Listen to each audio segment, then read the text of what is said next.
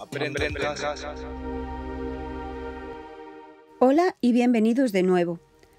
Hoy vamos a disfrutar con el comentario de una magnífica obra que es La Escuela de Atenas, de Rafael. Como siempre, empezamos con los datos generales que aparecen aquí en esta imagen. No son imprescindibles, ya sabemos, pero es una buena forma de empezar.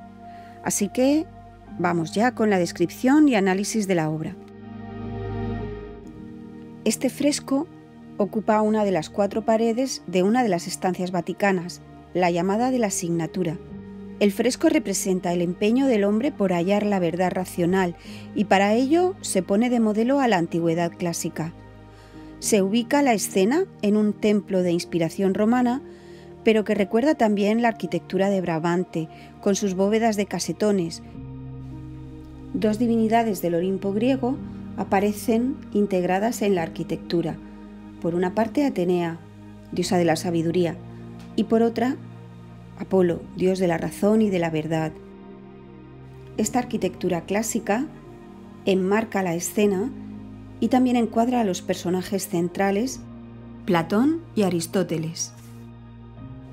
Platón muestra su Timeo y señala al cielo, al mundo de las ideas, y Aristóteles, con su ética, señala la tierra.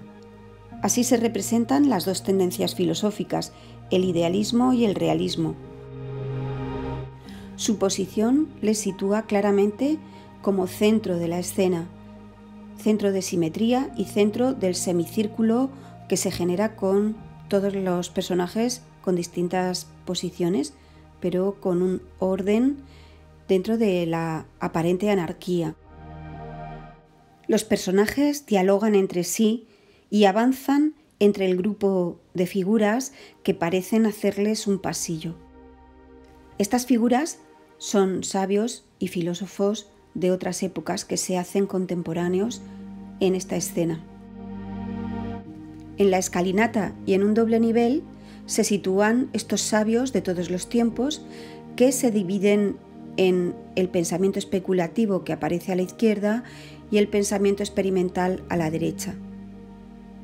Por ejemplo, veremos a Averroes, filósofo, matemático y médico andalusí de la Edad Media, Pitágoras, filósofo y matemático griego, Hipatia, filósofa y profesora neoplatónica, Parménides, filósofo precursor del idealismo platónico, Alejandro Magno, rey de Macedonia, que venció a los persas y extendió el imperio griego y también fue discípulo de Aristóteles, Sócrates, padre del pensamiento filosófico griego y maestro de Platón, y muchos otros como Homero, Ptolomeo, Epicuro, en el centro de la escalinata aparece un Diógenes con una actitud que muy bien muestra su filosofía, su desinterés por los usos, costumbres y posesiones terrenales.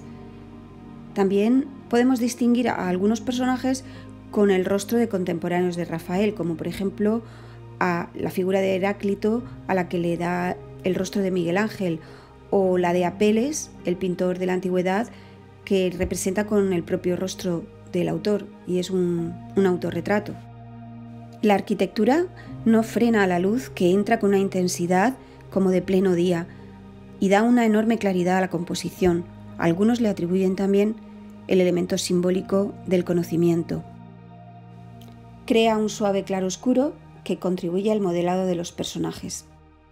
El dibujo es preciso y delimita los colores, que son de una gran variedad, distribuidos como el cálido rojo en Platón, que se contrapone al frío azul de Aristóteles, aunque hay cierto predominio de colores cálidos que se armonizan con los azules del cielo y de las indumentarias de los personajes. La perspectiva es geométrica y, como hemos dicho, el punto de fuga, las cabezas de los filósofos. También la arquitectura va disminuyendo y estrechándose, dando la sensación de alejamiento. En el siguiente apartado podemos analizar el contexto en el que Rafael realiza esta obra. Es en este momento, en el Cinquecento ya, Roma el centro artístico, donde los grandes mecenas son los papas y en Roma se dan cita los grandes artistas del momento. Rafael, a los 25 años, recibe el encargo del Papa Julio II para realizar estos frescos que correspondían a la sala de la asignatura. Roya aquí, con un complejo programa iconográfico, el orden de la humanidad por medio de la sabiduría mundana y espiritual. Frente a esta escuela de Atenas se sitúa la disputa del Santísimo Sacramento, que simboliza la verdad revelada por Cristo. A ambos lados tendríamos la representación de la poesía y al otro la justicia. El tema propiamente dicho de la Escuela de Atenas recuerda de forma idílica lo que fue la Academia de Atenas, fundada por Platón hacia el siglo IV a.C. En ella se enseñaba filosofía, matemáticas, astronomía, medicina y retórica. Es la celebración de la filosofía, madre de todas las ciencias, y también del pensamiento científico y un reconocimiento a los aportes de la antigüedad al conocimiento.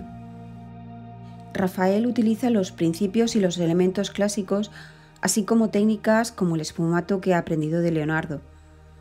Las pinceladas, la suavidad del dibujo y la armonía de colores muestran la paz interior que Rafael transmite en todas sus obras. Como conclusión, diremos que Rafael en esta obra es capaz de reflejar con sencillos gestos ideas de gran complejidad. Este fue uno de sus más grandes legados. El estilo de Rafael, caracterizado por el equilibrio y la armonía, tendrá gran influencia en la posteridad. Y esta obra, una de las más importantes que realizó, se convierte en un hito en la historia del arte.